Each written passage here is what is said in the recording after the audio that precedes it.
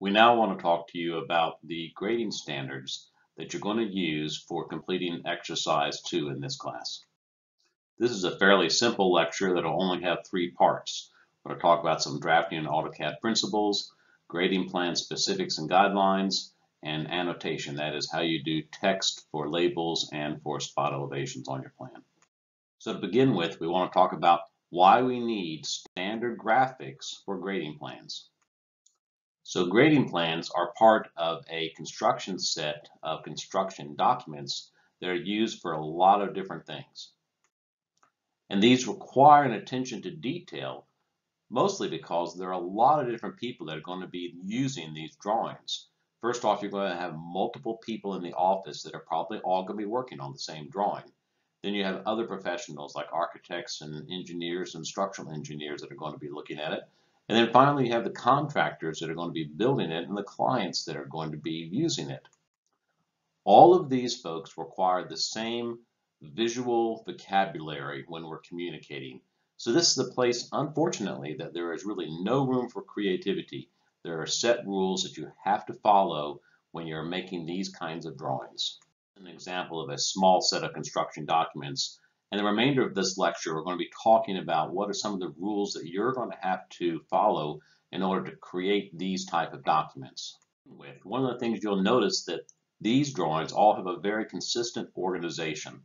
They have the same sheet layout, they have the same title block, and those title blocks include things like scales, north arrows, text, and they all have the same graphic standards. Now we have actually provided you with title blocks that you can use for this course. You're not required to use them, but we advise that you do because they're actually very simple and straightforward. In fact, Natalie has provided videos for you online to show you how to use these title blocks and you'll find these basic title block drawings available for you that you can XREF into your drawings for this project. So this is a cover sheet by Land Design for a set of construction documents, but this is not what's actually needed for the construction. Each with their own specific rules to be truthful. In fact, this is only the half, the top half of the drawings. And you'll notice that there are different line weights on these different drawings and different standards that are used. In this course, we're simply going to focus on the standards that are used for a grading plan. So to start your understanding of this graphic vocabulary, we want you to understand that there are certain abbreviations, symbols, and even line types that are used across the profession that are very consistent. You do not get to make up new line types or new symbols for things. You simply have to follow the standards that are already established. One of the things you have to do to follow those standards is you need to set up your AutoCAD drawing so that it has separate layers for each type of thing that you wish to show. So for example, you will have a layer for existing contours. You will have another layer for proposed contours and right down the line of the list that you can see here. Each of these will require a separate layer. And again, we have provided you with these layers that you may use for this course.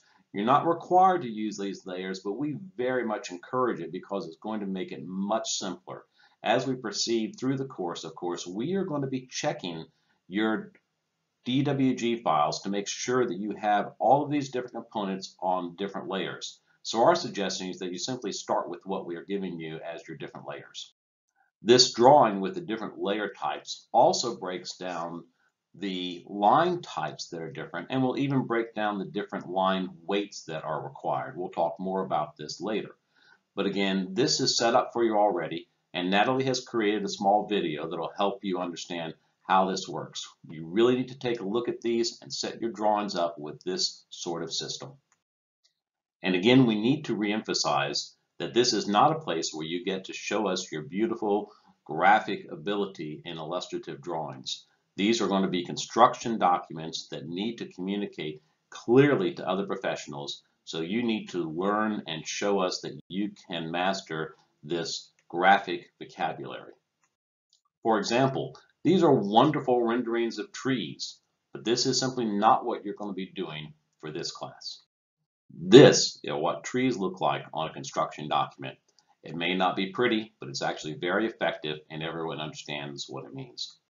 So these standards are used in all drafting done for construction documents and also for all AutoCAD done for construction documents. It's the same standards, but in this case, we're going to be applying it in AutoCAD. So for this exercise, you are going to recreate a drawing in AutoCAD. We're going to give you a JPEG as a base that you may insert into AutoCAD. And then if you think of it as tracing, it's similar to tracing, but there's a great deal of accuracy that we can do in AutoCAD that we could not do simply by tracing. So for example, all of the corners of the building would be absolutely square. All the lines of the building would be perpendicular or parallel to one another. This level of accuracy is what we're going to expect you to do in this project. All construction documents have to include graphic scales, written scales, and north arrows. We want to emphasize that it's very important that you actually have an accurate graphic scale on the drawing. The reason that you want a graphic scale as well as a correct written scale is someone may copy the drawing, photograph it, enlarge it, or reduce it. And you need that scale there to create a situation where the integrity of the drawing is not lost. One of the skills that you're going to develop as a designer is the ability to make lines that have different darknesses and different widths. We refer to this collectively as line weight. For this class, of course, you'll be creating those line weights in AutoCAD. There are standards, again, that you will need to learn to follow. Every office has different standards, but a drawing absolutely must have a clear hierarchy of different line weights. So we have again provided you with the line weights that you can use for this class. These are all set up for you with different colors and different plot aspects. There are instructions for this on the drawing and there's also a short video from Natalie explaining to you how to use these. It is not required that you use this system, but we want to very much encourage that you at least try to use it because it's going to make this much easier as you go through the semester. The reason for these different line weights is that they are used to represent different design elements. So for example, buildings, walls, stairs, contours, etc.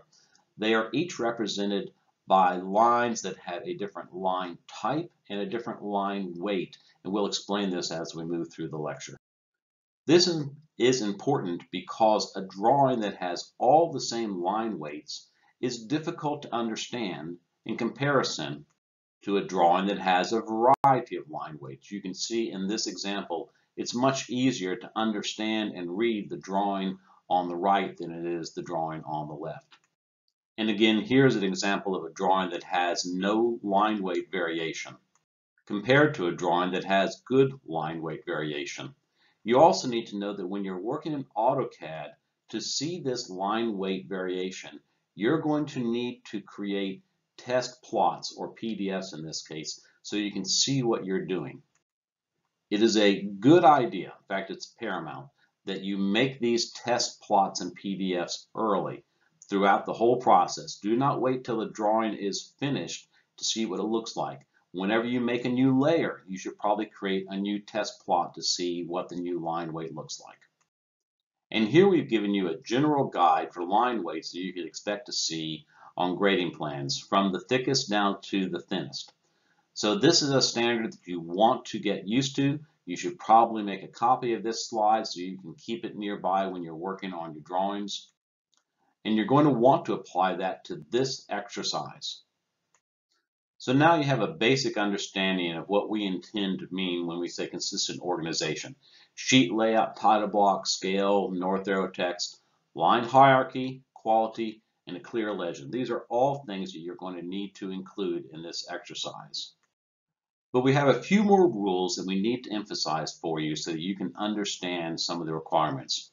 Rule number one, Every fifth contour must be darker, thicker line weight than the other contours. This fifth contour is often referred to as an index contour, and it is done to make the drawing easier to read. So again, every fifth contour, whether it is an existing contour or a proposed contour, must be darker, thicker line weight. Rule number two, whenever you are joining an existing contour to a proposed contour, you have to put in a tick mark. This tick mark shows the contractor where the limits of work are, and they will not move their equipment beyond these tick marks. Also, please note that these tick marks are to be perpendicular to the contours as they join. Now, this is easy to do when you are drafting, but when you're in AutoCAD, you will be tempted to simply take your tick marks and copy them from one contour to another. The fact is you can do that, but you're actually going to need to rotate them to make sure that they are in fact perpendicular at a consistent angle to the point where the existing and the proposed contours join. Rule number three is about the shape of contours, whether they are on hardscape or softscape. So when a contour is running across pavement, whether it's concrete or asphalt or whatever, it is going to be a straight line. When the, con contour is running across softscape or landscape areas, they are going to be smooth curvilinear lines. This is always true. Rule number four is about the location of spot elevations.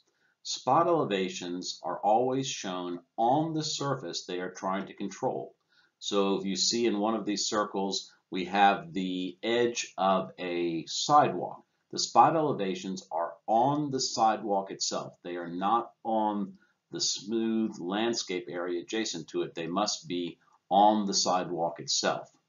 This is still going to be true for the corners of buildings, but that is going to show on the outside on the ground.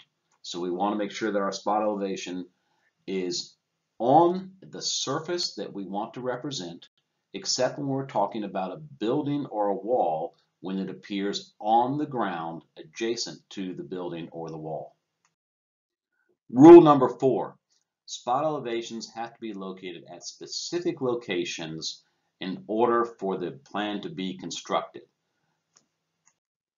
And as I said a moment ago, if you're talking about a building or a wall, the spot elevation is located adjacent to that on the ground one of the challenges you will find is getting all these spot elevations to show up in a logical manner.